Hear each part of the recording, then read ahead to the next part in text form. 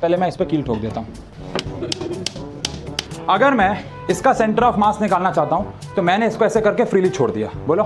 ये तो धागा इसको टच करा ना बस वहाँ पे आप एक मार्क लगा दो। नहीं नहीं, नहीं आगे से। अब हम क्या करेंगे ये दोनों पॉइंट्स हम याद रखेंगे। एक और कील ठोक देता हूँ यहाँ। अब हम क्या करेंगे इसको फिर से फ्रीली छोड़ देंगे। ये मार्क कर दो।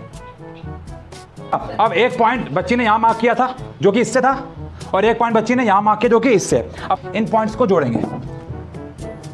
तो एक पॉइंट मैंने ये वाला जोड़ दिया, यहाँ से लेके यहाँ तक, और एक यहाँ से जोड़ा था ना, यहाँ से लेके यहाँ तक जोड़ देते हैं, यहाँ से जोड़ दिया।